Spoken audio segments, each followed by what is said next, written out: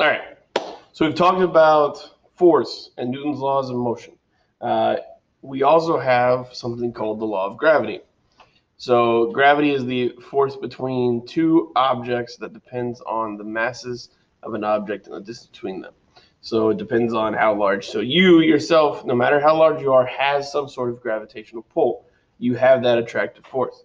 So, so for instance, if we go even larger scale, so if two planets become closer and closer to one another, then the gravitational force between the planets becomes stronger as well.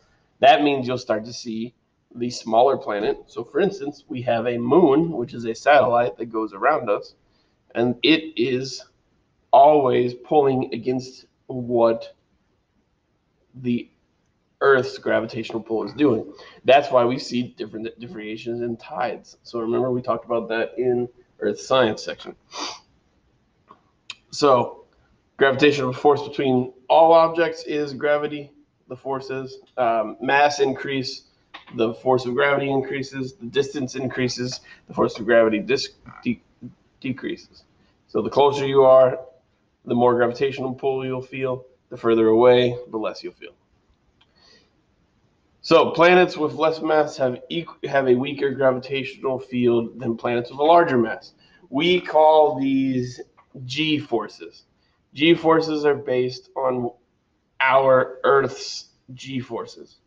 So that means that Earth has one G force, but something like Jupiter is so much larger that it has over 2.5 g forces just standing on, it.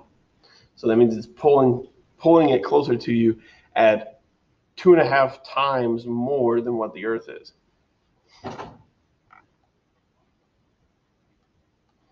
So here's the difference between mass and weight.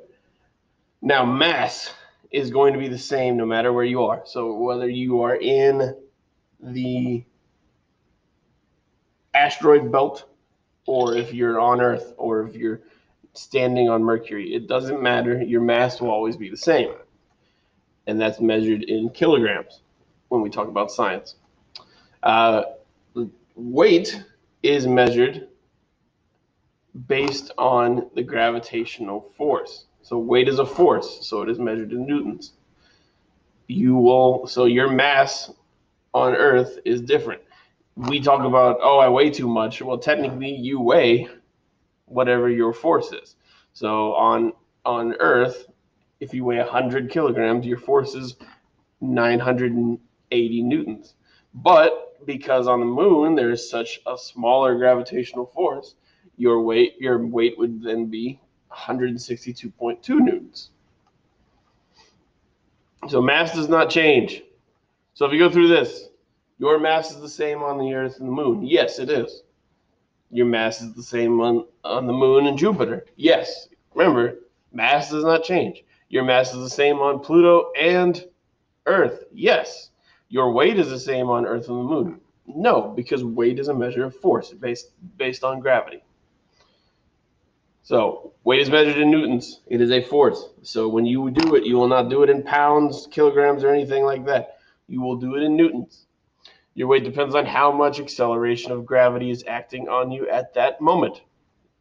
So if you're on Earth, it's always going to be whatever your mass is times one because Earth has one g. The acceleration of gravity due on the moon was the acceleration of gravity on planet Earth. So we are looking at pounds on this. So on this, we see that we have 150 pounds. You weigh uh, 225.6 pounds on the moon, and you weigh 406 pounds on Jupiter. So pounds and and your newtons relatively go together. So remember, weight of an object is mass times acceleration just like force is. So force and weight are almost exactly the same. The only difference is is acceleration of gravity is going to be the same over and over and over again on Earth. On Earth, it is 9.8 meters per second squared. So no matter what, when we're doing weight on Earth, it is your mass times 9.8 meters per second squared. So 5 kilograms times 9.8. And In this case, Leica has a mass, I'm guessing it's going to be pretty small since it's only 5 kilograms. It's probably some dog. Or Laika. Let's do Laika. That sounds like a dog name. Is going to be 49 newtons.